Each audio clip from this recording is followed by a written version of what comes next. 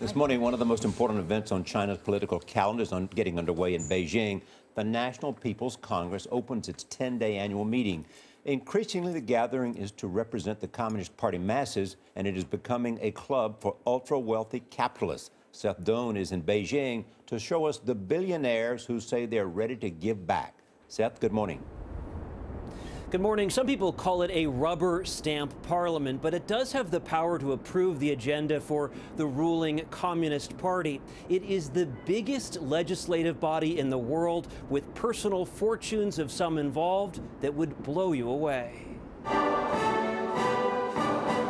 Some of these similar looking gray suits have very deep pockets.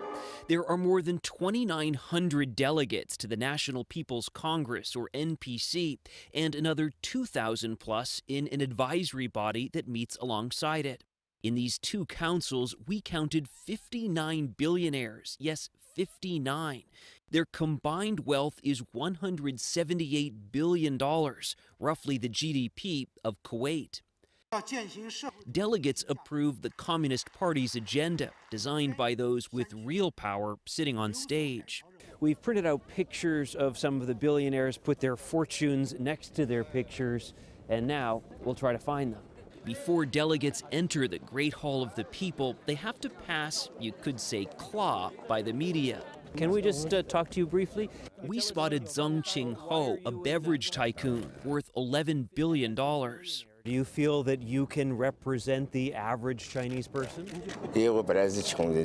I was poor, he told us. I understand poor people's difficulties. The difference between a poor peasant and these very wealthy entrepreneurs uh, even makes the income gap in the United States look uh, rather modest by comparison.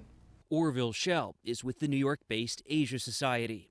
China's uh, inclusion of the wealthy class uh, is an effort to keep this kind of power inside the political system. The super rich are almost celebrities here.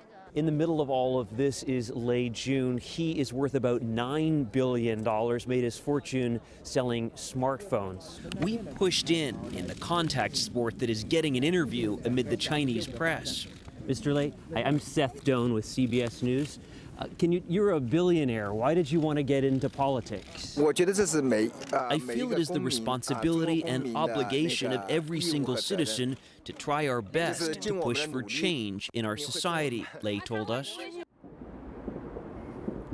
We wanted to see who the wealthiest member of the U.S. Congress was. We found Representative Darrell Issa worth at least $350 million. I suppose in China you could say only $350 million. Compare that to the richest person, the highest net worth of the delegate of the NPC, $14 billion, 40 times more. Incidentally, they will be discussing income inequality. Nora? All right, Seth, thanks. Yes, Robin Li, of course, the uh, head of Baidu, which is their version of Google uh -huh. in China. Yeah, interesting to see that that report. Mm. Only 300, only 350 million dollars, still okay. yeah. I think you can do all right on that. Absolutely.